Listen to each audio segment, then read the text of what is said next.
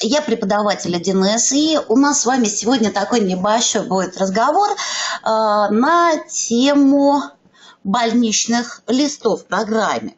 А, Причем то, что касается а, непосредственно регистрации больничных листов.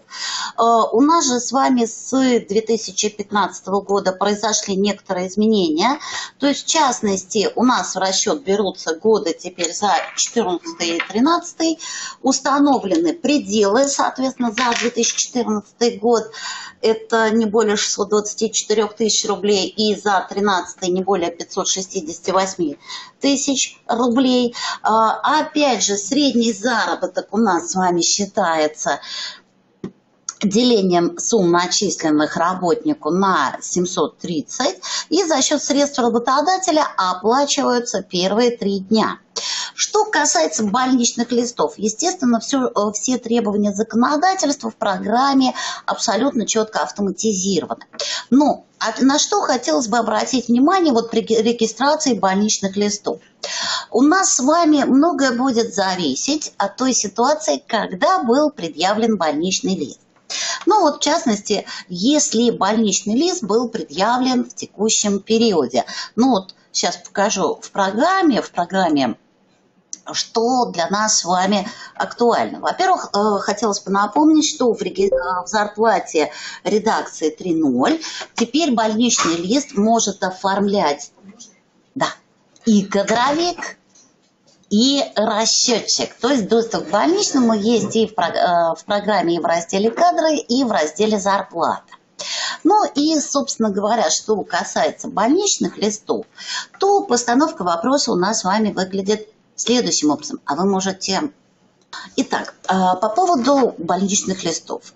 А, вариант стандартный и простейший – это если больничный лист был за текущий период был предъявлен именно в текущем периоде. То есть, вот а, тут у нас есть некий документ, в частности, сотрудник Иванов предъявил больничный лист за период с 8 апреля по 20 апреля. Что для нас с вами принципиально? Для нас с вами принципиально дата регистрации больничного листа. То есть, в частности, это не дата начала больничного листа, не дата окончания, это именно дата предъявления. А, в нашей с вами жизни, если мы хотим, чтобы программа считала все корректно, этот параметр играет очень большую роль. Ну и если больничный лист вот за текущий период предъявлен в текущем периоде, то великолепнейшим образом все регистрируется, то есть на закладке главное мы с вами обращаем внимание, что вот был указан текущий период, то есть в данном случае текущим периодом в базе считается апрель месяц, указываются сроки больничного листа. А, что актуально? А, у нас с вами же в расчет идут последние два года, соответственно, 14 и 13 года. И, естественно, сотрудник, если работает меньше двух лет, то тогда, тогда э, необходимо ввести справку э, с предыдущих мест работы. Напоминаю, что сколько мест работы, столько, столько у нас с вами и должно быть введено справок. И вот здесь у нас с вами варианта два. А, вариант первый, это мы можем с вами заглянуть просто в раздел «Зарплата». Там есть вот во втором столбце группа команд «Смотри также». Добрались? И нас интересуют справки для расчета пособий. Ну, вот в качестве образца, например, по Иванову было введено две справочки. Просьба огромная обратить внимание, совершенно целенаправленно заработок за 2013 год введен вот в таком полубезумном размере не предел, а просто вот сумма некая такая гипотетическая в нашем случае. И со второго места работы был предъяв... была предъявлена вторая справочка. А, кроме того, вполне вероятно постановка вопроса какого рода. У нас всегда, если заранее справка не была зарегистрирована, это можно сделать из документа больничный лист. Для этого, для этого на закладке «Главное», вот там, где, э, собственно, указан расчет среднего заработка, есть ссылка изменить. И, как видите, можно, во-первых, определить, какие года, вручную. Во-вторых, нажать кнопку «Добавить справку с предыдущего места работы». Но на что хочу обратить внимание, что если вдруг мы с вами вводим вот таким вот образом справку о среднем заработке, тогда, тогда есть одна тонкость. То есть, если я сейчас начну оформлять вот, ну, в качестве эксперимента просто новый больничный лист, например, по сотруднику, есть там такая коробочка Анастасия Петровна. И я э, указываю ей дату предъявления больничного листа, э, причину нетрудоспособности. Болела она, к примеру, там с 10 июня по 20 июня. Здесь не актуально. Важно другое. Как видите, у нее сейчас начисление очень маленькое. За счет чего? А, за счет того, что не введены справки за 13-14 года. Если я сейчас попытаюсь сделать э, прямо вот из документов ввести справочки, то меня ждет один очень неприятный момент. То есть щелчок по ссылке «Изменить», он мне, конечно, дает возможность определить, какие будут года использоваться. Запросто совершенно. Но для меня недоступна кнопка «Добавить справку с предыдущего места работы». Вот эта кнопка становится активной только в следующем случае. Если я сначала загляну на закладочку «Оплата», на закладочку «Оплата» и установлю флажок «Учитывать заработок предыдущих страхователей». Только в этом случае, вернувшись на закладку «Главное» и щелкнув по ссылке «Изменить», я могу прямо из документа «Больничный лист» зарегистрировать справку с предыдущего места работы. Ну, например, справочка была предъявлена, ну, так условно скажем, 11 э, января. Страхователь Омега указывается период работы, ну, к примеру, с 10 января 2013 года по 28 декабря 2014 года. И за каждый год отдельно вводятся суммы. Скажем, в 2013 году было заработано 500 тысяч э, доход. И, соответственно, в 2014 году, ну, пускай будет тоже, э, пускай будет тоже 500 тысяч. Э, дни болезни ухода за детьми указываются обособленно, к примеру, 4 дня. И вот теперь, теперь, если э, мы с вами посмотрим, программа сделает перерасчет и все-таки пересчитает и средний заработок, и сумму по больничному листу. Что еще для нас с вами принципиально? Вот когда регистрируется документ больничный лист, естественно, э, помимо того, что программа нам с вами сделает расчет, она точно знает, что у нас с вами три дня оплачивается за счет работодателя, э, все остальное за счет ФСС. Э, для нас с вами еще очень важен на закладочке главное такой параметр, как выплата. То есть, в частности, варианты выплаты имеют место быть зарплатой с авансом в межрасчетный период. И если я скажу, что выплата пойдет зарплатой, зарплатой, ну вот дата выплаты подразумевается 5 июля. А, соответственно, попытка провести межрасчетную выплату будет выглядеть очень любопытно. То есть, в частности, в частности, в этом случае, в этом случае, ну вот за июнь я пытаюсь сейчас выплатить больничный лист, и, как видите, программа мне его просто не отражает. Если все-таки я не поленюсь, вернусь документ больничный лист а, по госпоже Коробочке, и все-таки укажу, что выплата пойдет в межрасчетный период, ну и, к примеру, того, что там 30 июня, для нас это сейчас не принципиально, то тогда, тогда уже у меня появится возможность указать ссылку на больничный лист. То есть, как видите, в данном случае а, момент принципиальный. Э, в частности, э, именно в том, что программа четко, абсолютно, когда речь идет о больничных листах, реагирует еще на вот этот показатель, когда у нас, как у нас с вами будет осуществляться выплата и ведет себя соответствующим образом. А, так, Сейчас. Значит, и плюс еще у нас хотелось бы, чтобы мы не забывали, в редакции 3.0 автоматизированы данные о перечислении НДФЛ, то есть, когда речь идет о выплате, обязательно необходимо указать, если налог перечислен, указать номер платежного поручения и дату платежного поручения. Номер платежного поручения и дату платежного поручения, чтобы было все корректно. Но ну, в контексте больничных листов для нас с вами важен еще один момент. Э, вполне вероятная ситуация, когда человек заболевает в конце месяца, а далее, далее у нас с вами получается Э, постановка вопроса какая? Ну, скажем, вот сотрудник заболел, э, позвонил, сказал, что будет больничный лист, э, но мы понимаем с вами, что больничный лист будет предъявлен в следующем месяце. Что тогда мы с вами должны сделать все-таки, если хотим, чтобы учет велся корректно? Ну, вот в частности, в качестве образца у меня тут есть больничный по некой Снежной, которая заболела в мае месяце.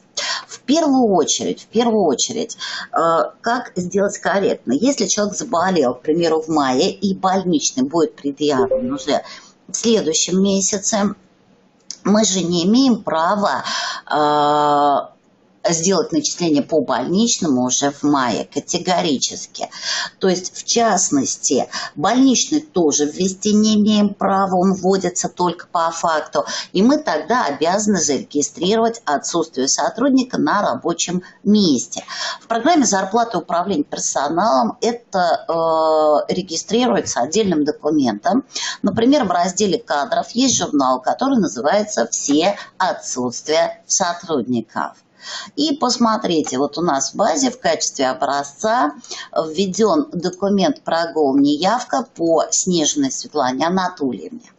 То есть, в частности, вот сотрудник Снежина заболела в мае, с 26 мая. Больничный ей будет предъявлен в июне месяце. Значит, мы в обязательном порядке ей регистрируем отсутствие по невыясненным причинам. Ну, конечно, не прогул, а именно отсутствие по невыясненным причинам. В дальнейшем, когда все-таки Снежина выйдет на работу и предъявит больничный лист, а вот у нас тут в качестве образца, собственно говоря, введен, то что для нас с вами будет принципиально? А, в частности, в частности, вот вернусь на минуточку сейчас к презентации, чтобы напомнить. Мы, когда обговаривали сейчас стандартный вариант, больничный предъявлен за текущий период и предъявлен он в текущем периоде, у нас в документе всего три закладки. Главная, оплата и начислено подробно. И, соответственно, мы методично оформляем документ, и никаких изысков, программа все делает красиво и четко. В случае, если больничный предъявлен за прошлый период, у нас с вами, когда мы устанавливаем даты корректно, появляется дополнительная закладка пересчет прошлого периода, которая в нормальной постановке вопроса нет. То бишь, вот сейчас у меня стоит месяц июнь, дата предъявления больничного листа 9 июня, и, как видите, есть закладочка «Пересчет прошлого периода». А, как ведет себя в этом случае программа? То есть еще раз подчеркиваю, что при работе в программе зарплаты управления персоналом а, принципиально корректно поставить непосредственно дату документа больничный лист. Подчеркиваю, это дата предъявления больничного листа, но сотрудник может его принести, в общем-то, гораздо позже. Но сроки больничного листа вводятся четко совершенно именно по бумаге, то есть по документу. Как себя в этом случае ведет 1С? В частности, на закладочке начислено подробно у нас с вами есть возможность посмотреть. Вот какой момент. Э, больничный, переходящий, затрагивает два месяца. Но из этих э, сроков три дня уплачиваются отдельно за счет работодателя, и, как видите, три дня выделены отдельно. Все остальное идет за счет ФСС, но часть оплаты больничного за счет ФСС пришлась на май месяц, поэтому программа расписала отдельно, и часть оплаты пришлась на июнь месяц, опять же, программа выделила отдельно. И на закладке пересчет э, прошлого периода, если мы туда заглянем, то будет совершенно четко видно, что программа, программа в частности, в частности, дала нам с вами возможность точнее, она это сделала сама автоматически, нам должна, дала возможность полюбоваться. Она что сделала? Она отменила ранее введенную неявку, то есть отсутствие по э, невыясненной причине. Если сейчас я э, сделаю, например, э, документ, точнее отчет табель, отчет табель за этот период, то тогда будет очень такая красивая постановка вопроса. Вот у Снежиной больничный начался с мая месяца, и по факту уже введения документа больничный лист, по факту введения, сейчас, но, к сожалению, табель в программе формируется, конечно, очень медленно.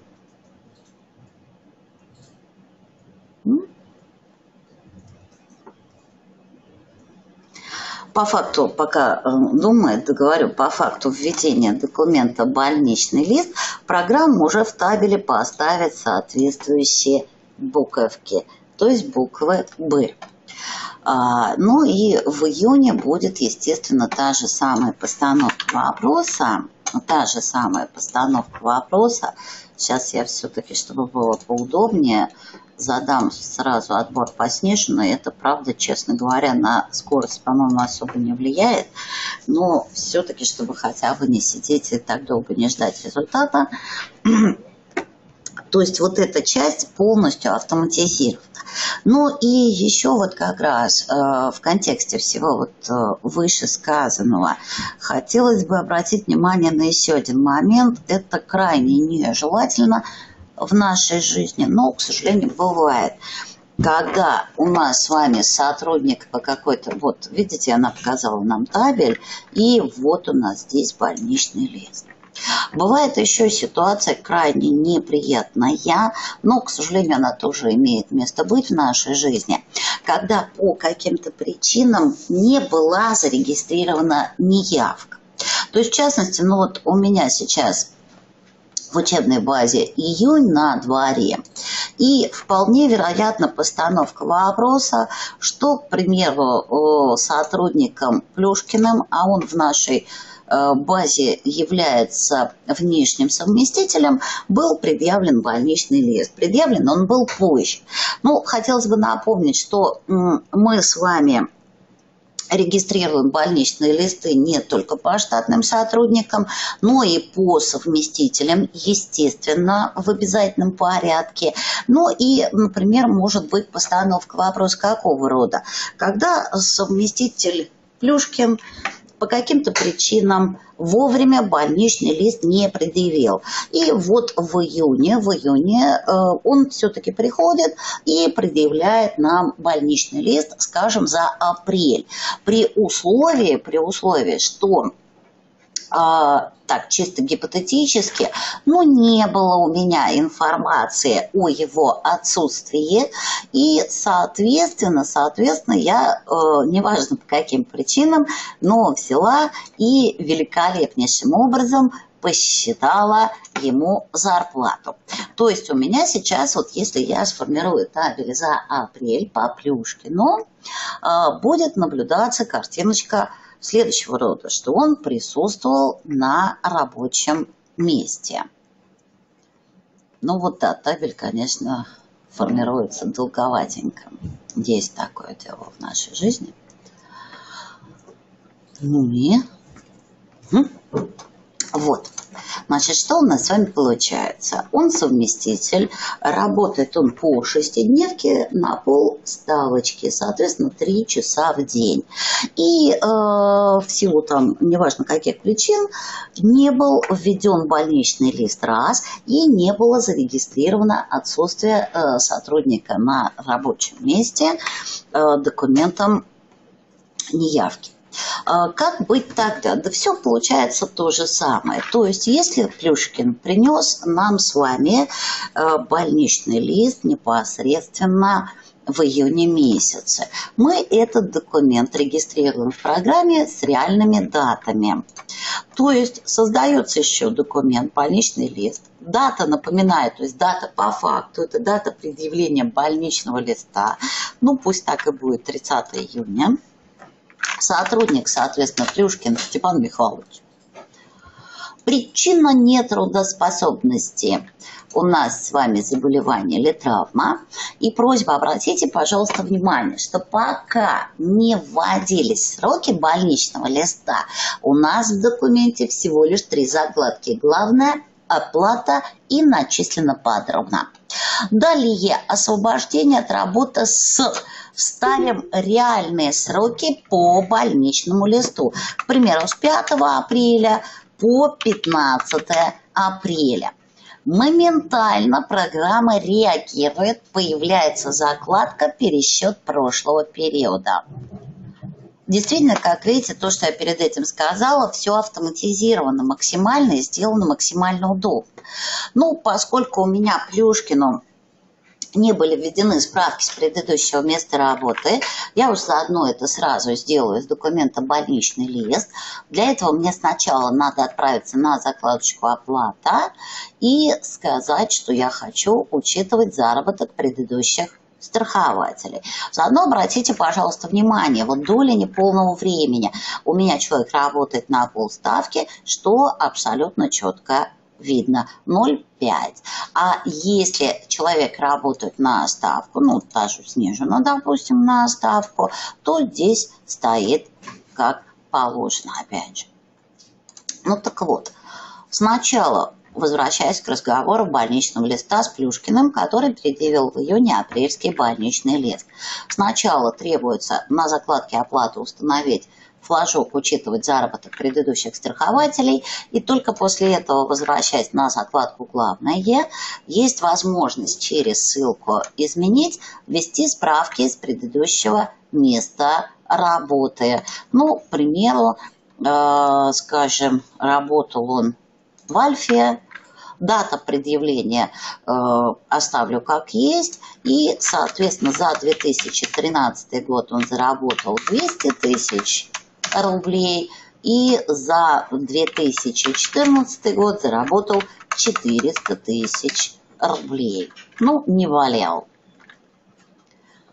Что тогда у нас с вами получается?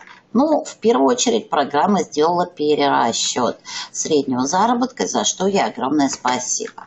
Но нас сейчас больше, больше интересует другой вариант. На закладочке «Оплата» Обратите, пожалуйста, внимание, э, здесь у нас никаких изменений не произошло. На закладке начислено подробно. Программа расписала нам больничный за счет работодателя и больничный за счет ФСС. Сроки апрельские, что принципиально. И на закладке пересчет прошлого периода она нам с вами сделала фактически что? Красная сторона. То есть она за этот период с 5 апреля по 15 в моем случае, она отменила начисление зарплаты. Что актуально? А, вот когда мы регистрируем больничный лист, мы, повторяю, вот действительно это безумно важно, дату ставим по факту, то есть вот апрельский больничный был предъявлен в июне, значит дата июньская, и месяц июнь, то есть что получается? В апреле у нас с вами уже зарплата рассчитана, налоги уплачены, все сделано. Мы не имеем права трогать с вами прошлый период. А вот благодаря той технологии, что реализована в программе, получается абсолютно изумительная вещь. Программа делает нам с вами перерасчет, но перерасчет войдет куда? Перерасчет войдет в текущий период. То есть все четко будет у нас с вами указано непосредственно в текущем периоде. И если сейчас я, э, соответственно, проведу этот документ, и все-таки еще разочек сформирую табель по Плюшкину за апрель месяц. В данном случае, вот сейчас вот она нам с вами должна уже показать. Сейчас одну секундочку, что мы, ей надо дать все-таки подумать. И программа нам покажет результат наших праведных трудов.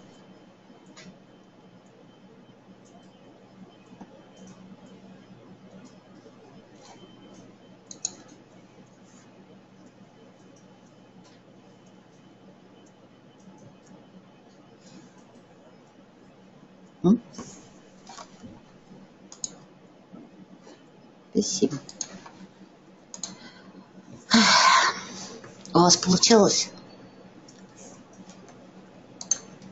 Вот, наконец-то. Показал больничный в апреле? Ага. А в июне, естественно, у нас с вами все красиво и хорошо. А, то бишь, э, если так немножечко подвести итог. Вот все требования законодательные в программе запрограммированы, то есть все четко э, определено. Но многое зависит от нас с вами. Особенно в случае, повторяю, если у нас с вами э, больничный лист либо переходящий, то есть затрагивает несколько месяцев, либо если по каким-то причинам больничный лист сотрудникам был предъявлен позже тут тогда, тогда у нас с вами абсолютно четко актуальна постановка вопроса только одна. Мы обязаны, обязаны с вами учитывать этот момент каким путем? Вводя реальную дату предъявления больничного листа. Это играет очень большую роль в нашей жизни. И вот если сейчас, допустим, я еще и сформирую отчет реестр пособий за счет ФСС, ну, поскольку база небольшая, сформирую за этот год, то обратите внимание, опять же, все будет сделано абсолютно адекватно. Реестр пособий находится э, в разделе налоги и взносы, отчеты по налогам и взносам. Если вот вы туда заглянете, соответственно, там есть отчет, который так и называется, реестр пособий за счет ФСС. И если мы его с вами сформируем, вот все больничные, которые были зарегистрированы вот в моей базе, в частности, обратите внимание, что актуально. Вот Плюшкин, со всеми вытекающими последствиями. И дата страхового случая, как и положено, стоит апрель месяц. Вот. То есть в результате мы с вами имеем дело с очень красивым решением. Дальше абсолютно стандартно, то есть вот после ввода документа больничный, больничный лист э, начисляется зарплата. Напоминаю, что больничный вводится отдельным документом, Исходя из этих соображений, в документе по начислению зарплаты его искать не надо, абсолютно.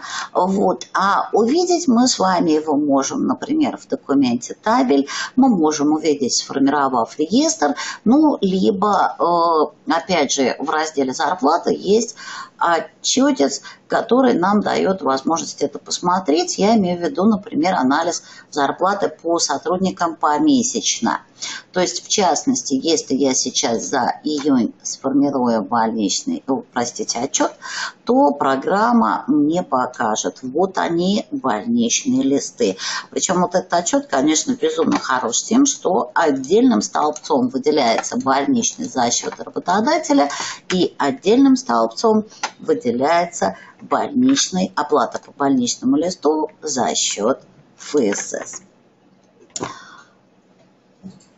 Вот как-то так. Э, собственно говоря, в общем-то, это все, что хотелось бы обсудить на сегодняшний момент.